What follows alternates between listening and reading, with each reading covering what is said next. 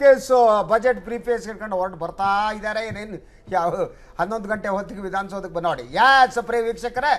ಕೆಂಪಗಿದೆ ಬಣ್ಣ ಸೂಟ್ಕೇಸ್ತು ಒಳಗಡೆ ಯಾವ ಬಣ್ಣ ಇದೆಯೋ ಗೊತ್ತಿಲ್ಲ. ಎನಿವೆ ಮುಖ್ಯಮಂತ್ರಿಗಳು ಬಜೆಟ್ ಇದನ್ನ ನೋಡಿದ್ರೆ ಏನೋ ಒಂದು. ಎಲ್ಲರೂ ಏನ್ ಮಾಡ್ತಾರೆ ಯಾಸ ಏನು ಜ- ಜಯಬೇರಿಯ ಒಂದು ಬೆರಳನ್ನ ಹೆಬ್ಬೆರಳನ್ನ ಎಲ್ಲರಿಗೂ ತೋರಿಸ್ತಾ ಇದ್ದಾರೆ. ಒಳಗಡೆ Yes, ಹಸಿರು ಜಾಸ್ತಿ ಇರಬೇಕು ಅಂತ ನಾನು ಕೊಟ್ಟಿರುವ ಭರವಸೆ ಏನಿದೆ ಅದು ಈಡೇರಿಸಿದ್ದೀನಿ ಅನ್ನುವ ಅರ್ಥದಲ್ಲಿ ಇರಬಹುದು ಅಂತ ನಿರೀಕ್ಷಿಸೋಣ.